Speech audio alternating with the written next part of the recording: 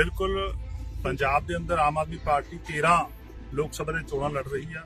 13 ਦੇ ਅੰਦਰ ਬਿਲਕੁਲ ਸਾਡਾ ਬਹੁਤ ਵਧੀਆ ਤਿਆਰੀ ਆ, ਬੜੇ ਅੱਛੇ ਢੰਗ ਨਾਲ ਅਸੀਂ ਜੋ 2 ਸਾਲ ਦੇ ਸਾਡੇ ਸਰਕਾਰ ਨੇ ਕੰਮ ਕੀਤੇ ਨੇ ਕਿ ਕਿਸ ਤਰ੍ਹਾਂ 2 ਸਾਲ ਦੇ ਅੰਦਰ ਅਸੀਂ ਪੰਜਾਬ ਦੇ 90% ਘਰਾਂ ਦਾ ਬਿਜਲੀ ਦਾ ਬਿਜਲੀ ਦਾ ਬਿੱਲ ਜਿਹੜਾ ਉਹ ਜ਼ੀਰੋ ਕੀਤਾ ਹੈਗਾ। ਅੱਜ ਪੰਜਾਬ ਦੇ 90% ਘਰਾਂ ਨੂੰ ਬਿਜਲੀ ਦਾ ਬਿੱਲ ਨਹੀਂ ਆਉਂਦਾ ਤਾਂ ਜ਼ੀਰੋ ਬਿੱਲ ਆ ਰਿਹਾ ਹੈਗਾ। ਸੋ ਬਹੁਤ ਵੱਡੀ ਪ੍ਰਾਪਤੀ ਆ। ਇਸੇ ਤਰ੍ਹਾਂ ਪੰਜਾਬ ਦੇ ਅੰਦਰ 43000 ਤੋਂ ਵੱਧ ਸਰਕਾਰੀ ਪੱਕੀਆਂ ਨੌਕਰੀਆਂ ਔਨ ਰੋਲ ਬੈਰਟ ਦੇ ਉੱਤੇ ਪੰਜਾਬ 'ਚ ਪਹਿਲੀ ਵਾਰ 2 ਸਾਲਾਂ ਦੇ ਅੰਦਰ ਮਿਲੀਆਂ ਨੇਗੀਆਂ ਨਹੀਂ ਤਾਂ ਸਰਕਾਰਾਂ ਕੀ ਕਰਦੀਆਂ ਸੀ, ਪੁਰਾਣੀਆਂ ਸਰਕਾਰਾਂ? ਜਦੋਂ ਇਲੈਕਸ਼ਨ ਆਉਂਦੀ ਸੀਗੀ, ਉਸ ਸਮੇਂ ਛੋਟੀ-ਮੋਟੀ ਭਰਤੀ ਪ੍ਰਕਿਰਿਆ ਆਉਂਦੀ ਸੀ। ਅਸੀਂ ਪਹਿਲੇ 2 ਸਾਲਾਂ ਦੇ ਦੌਰਾਨ ਸਾਡੀ 43000 ਤੋਂ ਉੱਪਰ ਜਿਹੜੀ ਆ, ਉਹ ਨੌਜਵਾਨ ਮੁੰਡੇ ਕੁੜੀਆਂ ਦੀ ਭਰਤੀ ਪੰਜਾਬ 'ਚ ਹੋਈ ਆ।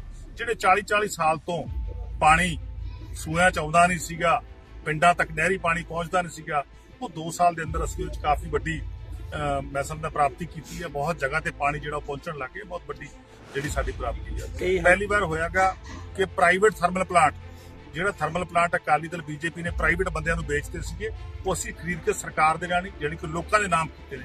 ਇਹ ਬਹੁਤ ਵੱਡੀ ਪ੍ਰਾਪਤੀ ਜਿਹੜੀ ਆ 2 ਸਾਲਾਂ ਦੇ ਦੌਰਾਨ ਸਰਦਾਰ ਭਗਵੰਤ ਸਿੰਘ ਮਾਨ ਦੀ ਸਰਕਾਰ ਇੱਕ ਜਿਹੜੀ ਉਹਦੇ ਬਾਰੇ ਕੀ ਕਹਿਣਾ ਚਾਹੁੰਦੇ?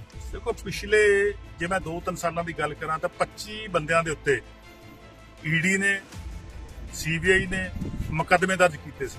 ਜਿਨ੍ਹਾਂ ਵਿੱਚੋਂ 23 ਵਿਅਕਤੀ ਜਿਹੜੇ ਨੇਗੇ, ਉਹ ਭਾਰਤੀ ਜਨਤਾ ਪਾਰਟੀ ਸ਼ਾਮਲ ਹੋ ਗਏ ਔਰ 23 ਵਿਅਕਤੀ ਉਹ ਬਰੀ ਹੋ ਗਏ।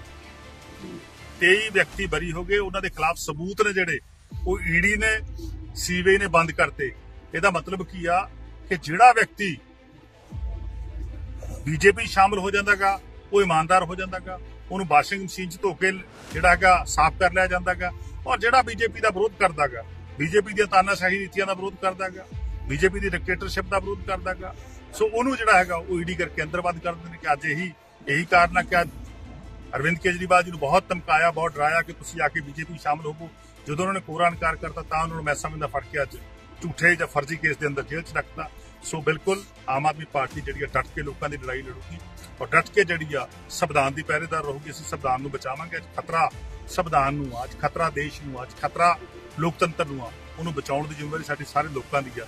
ਸਾਰੇ ਅੱਜ ਪੰਜਾਬ ਇਕਜੁੱਟਾ ਔਰ ਬੀਜੇਪੀ ਨੂੰ ਮੂੰਹ ਤੋੜ ਜਵਾਬ ਬਾਕੀ ਉਮੀਦਵਾਰਾਂ ਦੀ ਸੂਚੀ ਕਦੋਂ ਆ ਰਹੀ ਹੈ? ਦੇਖੋ ਅਸੀਂ 9 ਉਮੀਦਵਾਰ ਜਿਹੜੇ ਉਹ ਐਲਾਨ ਚੁੱਕੇ ਆ ਚਾਰ ਉਮੀਦਵਾਰ ਹੋਰ ਬਾਕੀ ਬਚੇ ਨੇ ਬੜੀ ਜਲਦੀ ਉਹਨਾਂ ਦਾ ਐਲਾਨ